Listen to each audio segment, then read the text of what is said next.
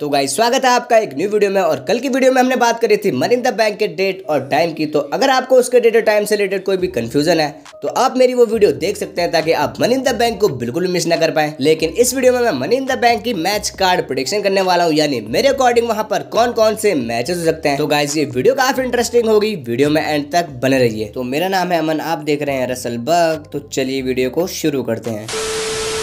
तो गाइस पहला मैच जो कि मुझे लगता है मन इन द बैंक में हो सकता है, वो होगा हमारे इंपीरियम के लीडर यानी गुंथर वर्सेस मैट रिडल के बीच, और ये होगा for the intercontinental championship अब भाई, ये मैच क्यों होगा? क्योंकि हमने भाई गुंथर और रिडल के बीच एक बैक स्टेज सेगमेंट देखा था, जहाँ पर इन दोनों के बीच एक कन्फ्रंटेशन भी हुई थी। तो ऐसे में गुंथर के पास अभी भी फ़िलहाल में कोई भी अपोनेंट नहीं है। वहीं रिडल का भी अभी हमें कुछ भी समझ नहीं आ रहा है तो ऐसे में हो सकता है कि हमें मनी इन द बैंक में इन दोनों का ही मैच देखने को मिल जाए, और ये मैच काफ़ी अच्छा खासा होगा, इसलिए मुझे लगता है डब्ल्यू इसे बुक करने वाली है। तो ऐसे में सवाल ये रहेगा, अगर ये मैच होता है तो क्या रिडल गुंथर को हरा पाएँगे? आपको क्या लगता है? आप कमेंट बॉक्स में बता सकते हैं। तो गाइज़ अगला मैच होगा for the undisputed tag team championship जहाँ पर केविन ओमिस और सैमी जेन डिफेंड करेंगे।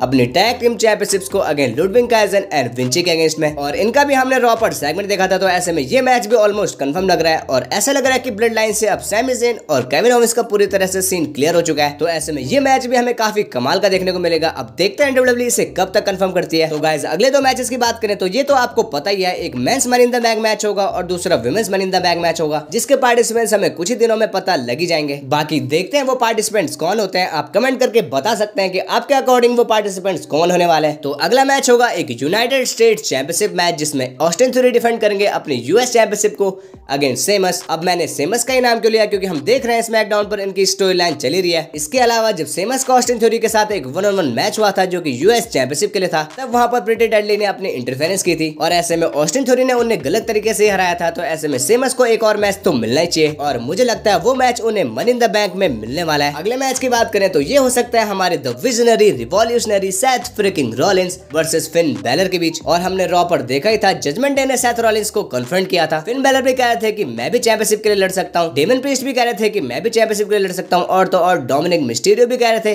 कि वो भी चैंपियनशिप के लिए लड़ सकते हैं। और क्योंकि ये मैच एक प्रीमियम लाइव इवेंट में होने वाला है तो उनका परफेक्ट अपोनेंट मुझे फिन बैलर ही नज़र आ रहे हैं। और ऐसे में वो जजमेंट डे के लीडर भी हैं, और अगर इन दोनों के बीच मैच होता है तो वो काफ़ी ज़्यादा कमाल का होगा। तो ऐसे में मेरे हिसाब से फिन बैलर फेस करने वाले हैं सेथ रॉलिंस को for the world heavyweight championship तो गाइस अब आ जाते हैं हमारे फाइनल मैच की तरफ़ और ये ब्लड लाइन का ही एक मैच होने वाला है। जैसा कि हमने देखा ब्लड लाइन पूरी तरह से टूट चुकी है। रोमन रेंस और सोलो सिको एक तरफ़ हो चुका है वही दी ऊसोस दूसरी तरफ़ जा चुका है। और अब ये देखकर बिल्कुल नहीं लग रहा कि ब्लड लाइन एक बार फिर से साथ में आने वाली है। तो जैसे कि रूमर्स आए थे कि मनी इन द बैंक में एक टैग टीम मैच होने वाला है, जहाँ पर एक तरफ़ रोमन रेंस और सोलो सिको होंगे, वहीं दूसरी तरफ़ दी ऊसोस होंगे। तो कहीं ना कहीं ये बात सच होते हुए नज़र आ रही है। और हमने स्मैकडाउन पर देखा सोलो सिको ने अटैक कर दिया था जिमी ऊसो के ऊपर। तो ऐसे में रोमन रेंस और सोलो सिको अलग हो गए थे, वहीं जिमी ऊसो और जे उसो रिंग में रह गए थे। जे उसो अभी भी थोड़े से कंफ्यूज हैं, लेकिन मुझे लगता है कहीं ना कहीं वो अपना भाई का साथ देंगे, क्योंकि ये दोनों इतने साल साथ रहे और जब जे उसो को रोमन रेंस सिमुलेट कर रहे थे, तब केवल जिमी उसो ही थे जिन्होंने उनका साथ दिया था। तो ऐसे में मुझे लगता है इस बार जे उसो जिमी उसो का साथ देने वाला है और हमें मनी इन द बैंक में इन चारों का एक टैग टीम मैच देखने को मिलेगा। बाकी देखते हैं आगे जाकर क्या होता है वो तो हमें टाइम आने पर ही पता लगेगा। आज की वीडियो बस यहीं तक थी। वीडियो पसंद आई हो तो वीडियो को लाइक कीजिए चैनल को सब्सक्राइब कीजिए और कमेंट में आप अपनी मैच कार्ड प्रिडिक्शन लिख सकते हैं। मिलते रहेंगे ऐसे इंटरेस्टिंग वीडियोस के साथ। तब तक के लिए बाय बाय